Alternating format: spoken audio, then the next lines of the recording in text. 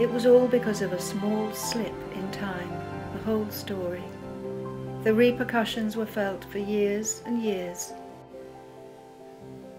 If only James had never told him.